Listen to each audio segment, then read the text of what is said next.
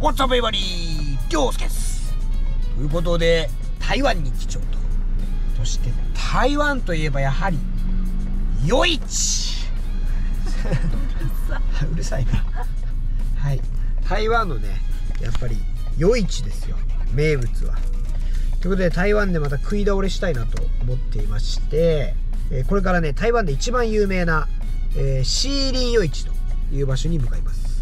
向かってる途中に日本人のああいや車に乗ってるんだね。はい。日本人街みたいなのがあった。焼き鳥がある。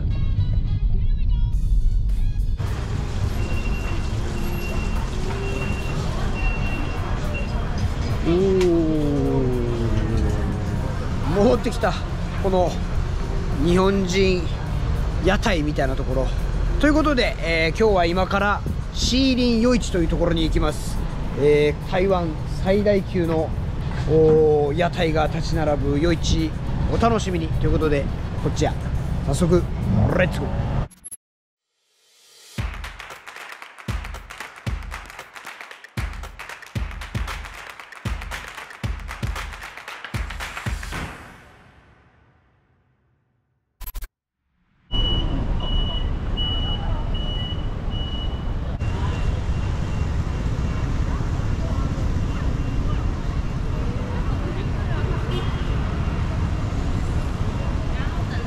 じゃあここが夜市のスタートということで台湾といえば夜市らしいよ、まあ、台湾たくさん夜市があるんやけどその夜市の中でも一番の、えー数とか広さとか盛り上がりがこのシーリンという地区の夜市ということで早速じゃあその中に入っていきたいなと。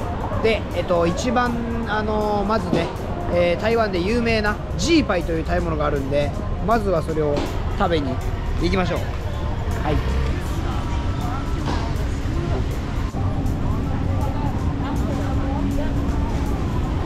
ジーパイ日本でも多分見たことあるけどここのは超でかいから。おおここがもう一番並んでたぐらいのそのジーパイという名物料理店。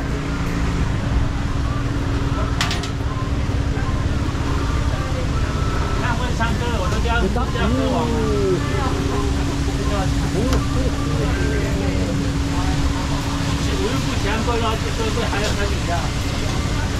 パイシーかスパイシーじゃないかを選べるとでえ1つ400円ぐらいと。謝謝。謝謝。さて来ました。見てこれ。おお大きいな。これがジーパイですか。いくよ。うわでかっ熱っ熱っ。ていうか俺もうめちゃくちゃ体今脂質制限してるわ久しぶりのチキン。フライドチキンいただきます。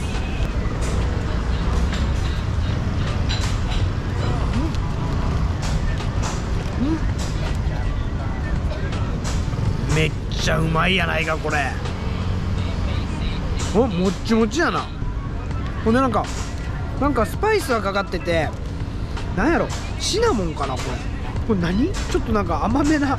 でもね鶏自体がめちゃくちゃうまいんやけどこれ何これ？ちょっとパサパサしそうやんこういうのって。全くない。うん。めっちゃうま。うわ懐かしい。ここ全部みんなこれ食べてた。いただきます。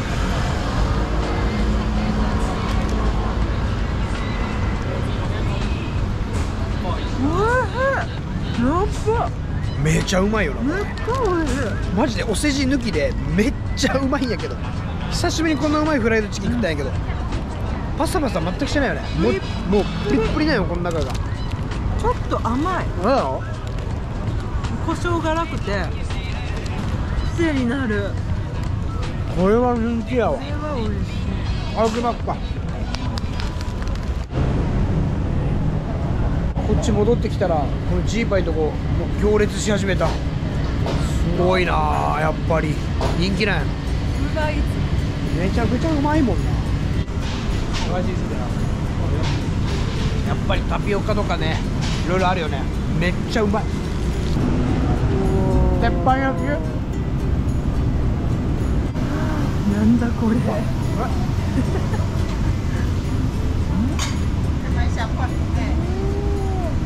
これで270円やって。たくさんの店が立ち並ぶと。でもあのコロナの影響でえっ、と100店舗ぐらい潰れたんやって。それでもまだね一応にぎわいがある。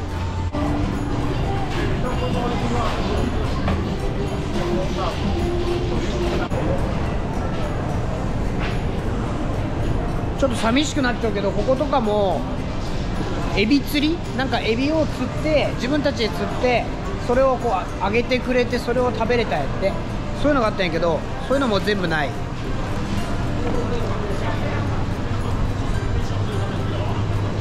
この辺もね看板はあるんやけど全然 もう出してないね。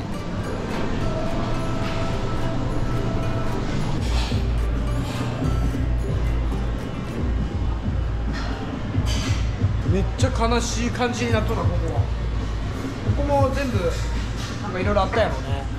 何にもない。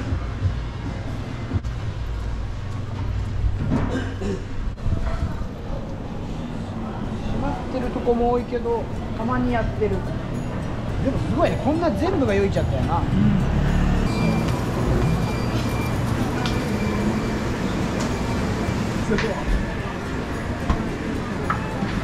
おおこの辺は盛り上がってますな。すごい人。ほら。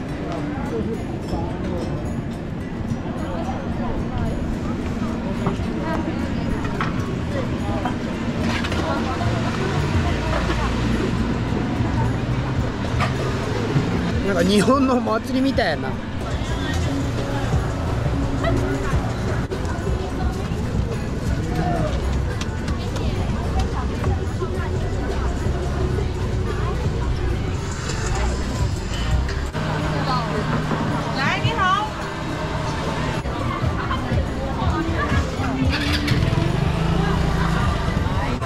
ごいね。この辺めちゃくちゃ混み合っちゃうやん。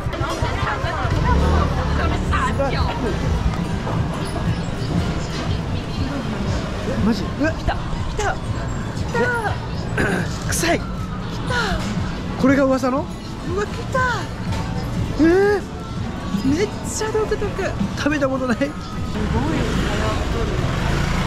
こは有名なんかな。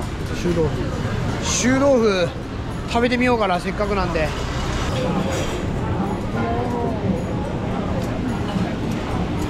来ました。これですね噂の。台湾の名物といえばこれ。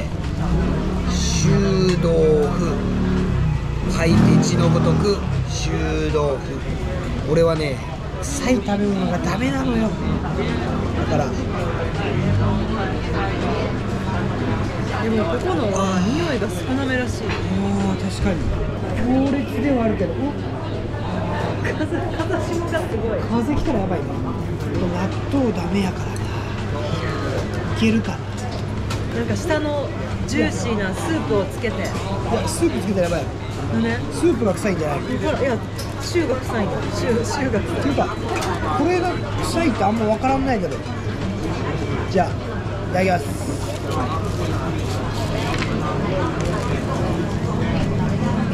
いいいい音いける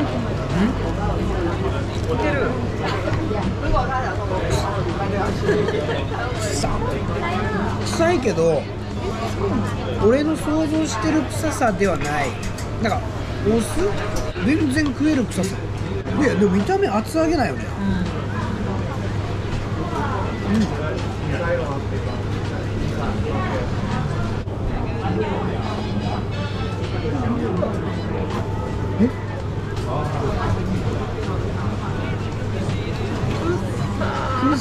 やろたまに。なんか波が来る。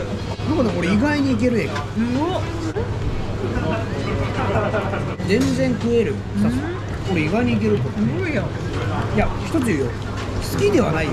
全然申し訳ないけど美味しいとはあんまり思わんないけど全然いける。でなんかここ10年ぐらいでやっぱり冷蔵とか冷凍の技術が上がってきてて10年前ぐらいに比べるとこの臭豆腐の臭さもだいぶこう緩和されてるらしいよ。だから屋台とかでも昔はもうとんでもないぐらい臭豆腐おいしょとか臭かったけど今はだいぶマシになってるらしい。ではめちゃめちゃ日本語書いてあるな。なんか輪投げとか射的とかそういう遊びも結構あるみたいよ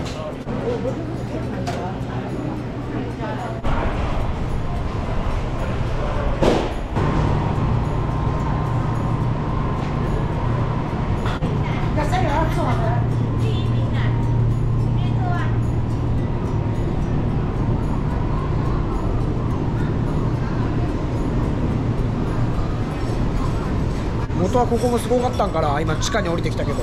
すれ違えんかったもん。マジで？めちゃめちゃ空いてるな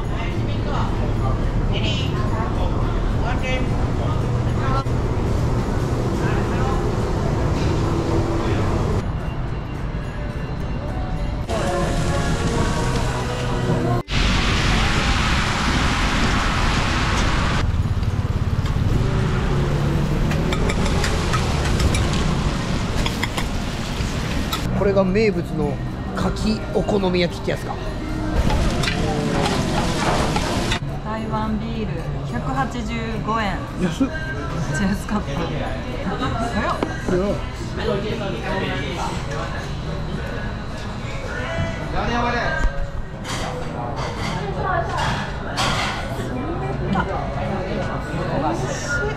夜市の名物。柿お好み焼き。とで食べてみましょう。うわめっちゃ牡蠣入ってるね。めちゃめちゃ牡蠣入ってる。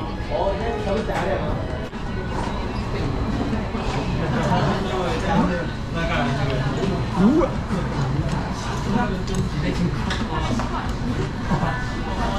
牡蠣はうまい。だけどこのタレ何？めっちゃ甘い。甘辛くないピーナッツみたいな。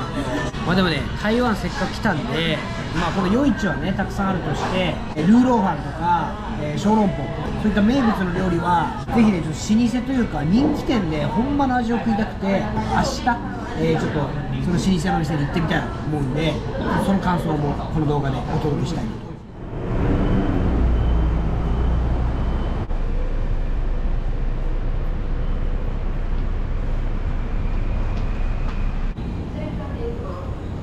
いやー楽しみやな。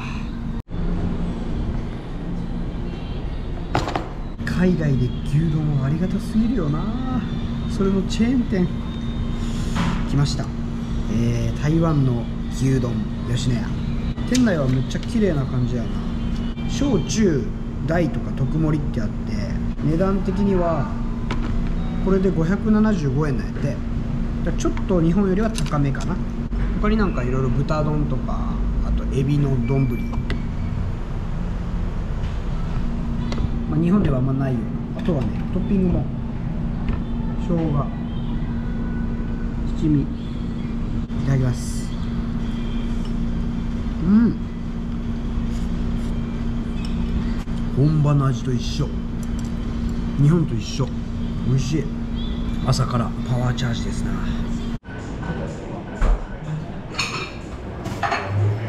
なみにこうスタバ。台湾のスタバ。アイスコーヒーでトールで390円、まあ、日本と同じぐらいかな。今から行くのが台湾といえばルーローファンということで俺も初めて行く人生で楽しみ。その名店があるみたいなんでそこに向かいます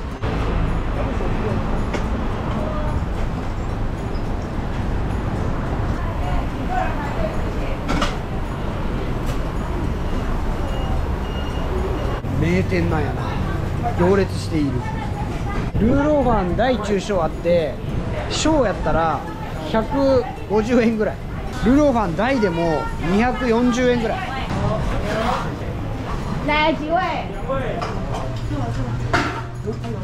むちゃむちゃ老舗やな。味がありますよここは。えー、すごいよマジで。こんなにいろいろ一応メニューがあってでもまあここといえばルーローもう来た？ドンドン。ルーローハン。俺が大。ケイちゃんが小美味しそう。見て。初。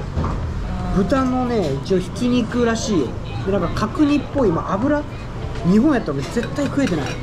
この脂質制限してるから。でも海外やから全然食べちゃう。初。いただきますルーローは。うわー美味しそう那还有人用吗？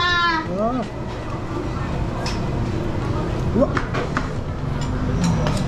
うわーうまっ何これめっちゃ甘い醤油。うん。ありがとう。卵花蛋一豆子，OK。ありがとう。ありがとう。ありがとうね。ありがとう。めっちゃ美味しいんやけどこの甘い醤油。これ日本人みんな好きやん。うん。甘辛。うん。まあ誰が食ってもうまいって言うと思う。これが豚の脳みそスープやって。頭美味しいで。す。脳みそ？いやいや。美味しい？見てくれ美味しいで。す。美味しい？豚の脳みそ初めて食うわいただきます再一个小卤变两小，对不对？两个小卤。嗯还没好。柔らかやっぱ白子やなうん。あ这些记起来。ーめちゃくちゃあっさりうん。薬膳スープっぽい味。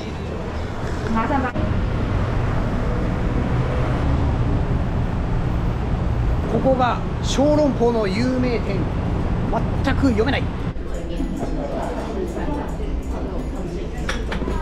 おお来ました台湾といえば。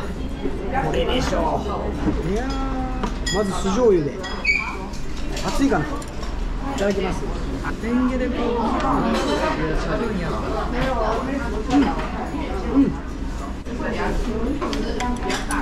美味しい。熱々で美味しい。肉なんやけどいい意味で肉肉しくないというかすごいなんか甘みのある感じある。ここのお店が五十嵐って見えるから五十嵐。ここが台湾の、えータピオカのもうチェーンスーパーチェーン店らし、えー、1個ね200円しないぐらい。これが本場のタピオカ。五十嵐。日本でもあんま飲んだことないけど。うんうんうんすごいな。もっちもちやな。